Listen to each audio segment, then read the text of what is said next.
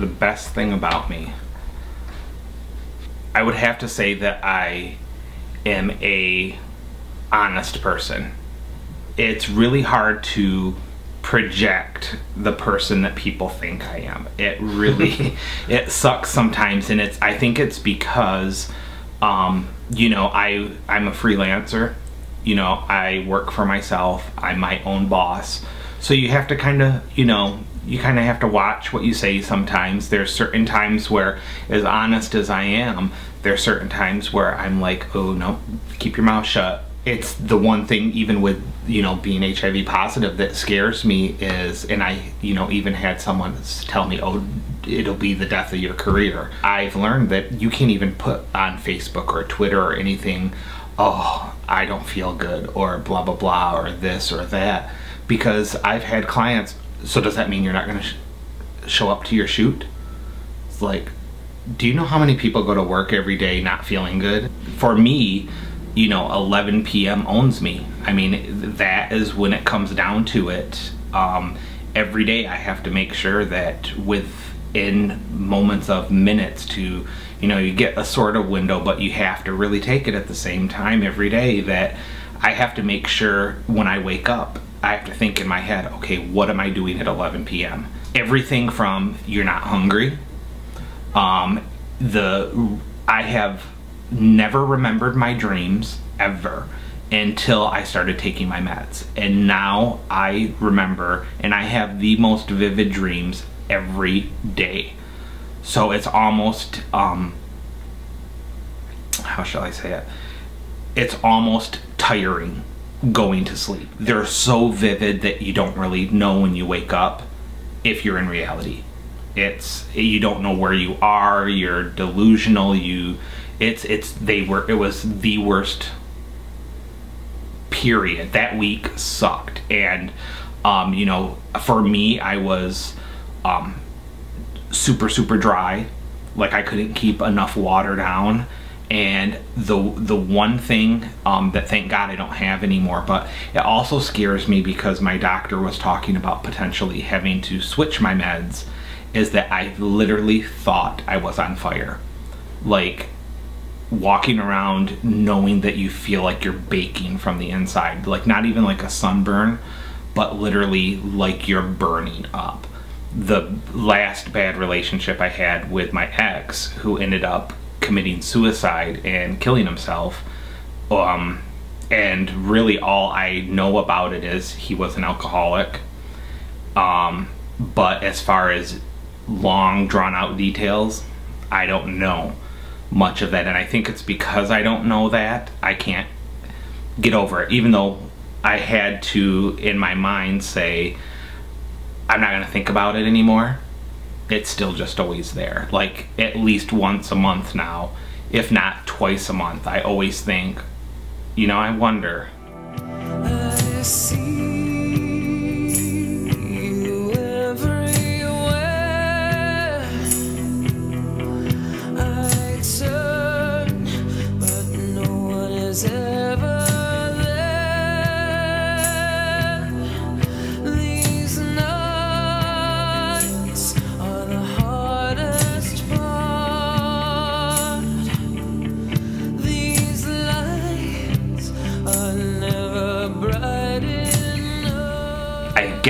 Pisses me off the most is why he didn't call me.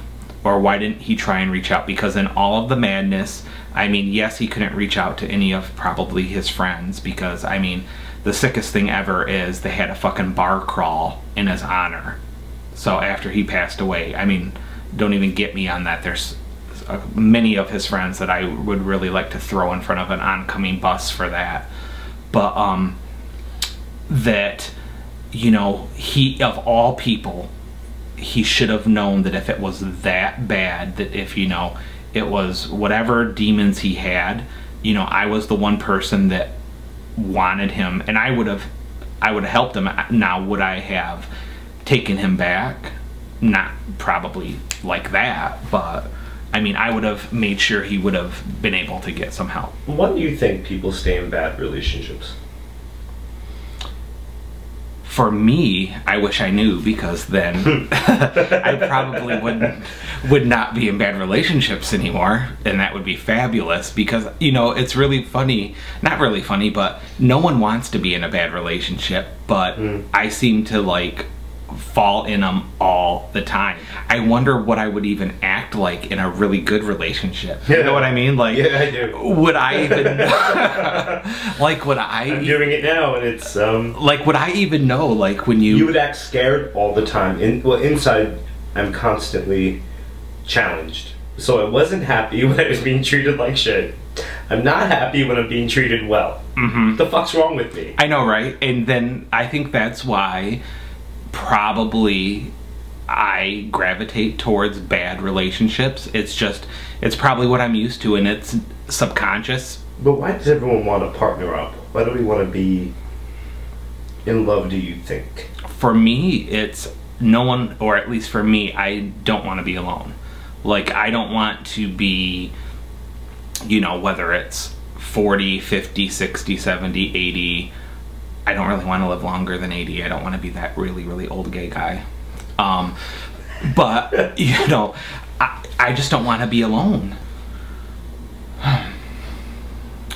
For me, I know someone's my friend when I'm allowed to have a difference of an opinion and it's still cool. Like that to me, I think rule number one is when you know that it's a good friendship and that it's it's genuine and true. Because to be honest with you, I don't want all my friends to eat, drink, and sleep the world of Terry and you know and agree with everything. I don't either because the world of JD is not. It's not pretty. Crazy. It's not pretty. So you know, but you know what I mean. Is I do. I don't want to be around people that a hundred percent of the time are on the same page Yeah. that I am because there's no moving forward when it's like that. You know, and I think a friendship, a strong friendship, is when, like, even me and you, we don't have to agree on the same Mm-hmm. No. thing, and we can talk about something like we were at Mm-hmm. the one bar talking about, you know, HDR and this and what is art, what is photography, and if I don't like what you say, Yeah, it's not. I'm not gonna not. it's not like I'm like, girl, Right. You I'm know, never- like- yeah. it's like That's what you think. It's a very narrow-minded approach, and you don't learn anything. I'm sometimes my own worst enemy to where I sort of need people to tell me that I'm good.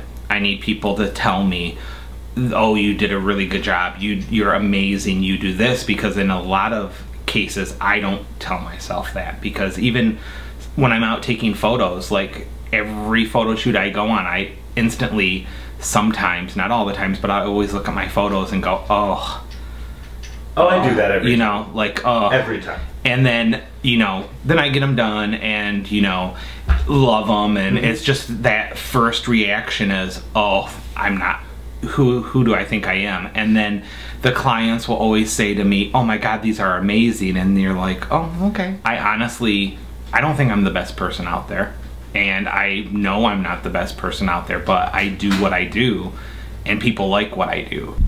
Most important i mean art is so important because i think it's the basis of knowing how to reason how to be more educated as well as getting through daily life. I mean you know i honestly also think what's so bad with a lot of culture is kids are not exposed to art nowadays and because of that i think it, it we're breeding a bunch of I don't want to say little monsters, but you know, art can save a life and has saved so many lives. I mean, it saved mine. I mean, if I wasn't in a creative field, I honestly don't know where I would be at this moment.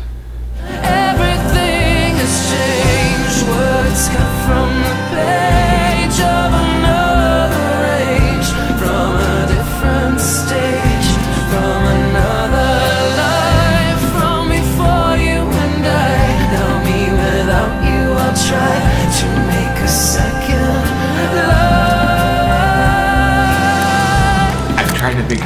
answer this because right now, like, it's like.